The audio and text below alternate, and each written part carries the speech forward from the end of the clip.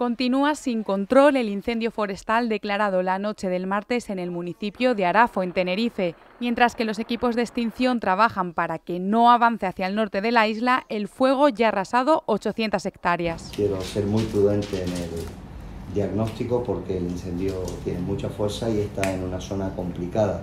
El fuego se inició pasadas las once y media de la noche en los montes de Arafo con varios focos y pronto alcanzó la zona alta de Candelaria. Esto obligó al desalojo de varios núcleos poblacionales de estos dos municipios del sur de la isla. Se trata, según han explicado desde el Gobierno de Canarias, de núcleos de población diseminados y de segundas residencias, por lo que la mayoría de los residentes no han utilizado los dos albergues que se han dispuesto para su atención. Rosa Dávila, presidenta del Cabildo de Tenerife, ha pedido que... Por favor le pidan a toda la población que no accedan a la zona de monte eh, en ningún punto de Tenerife, sobre todo en la zona donde está el incendio.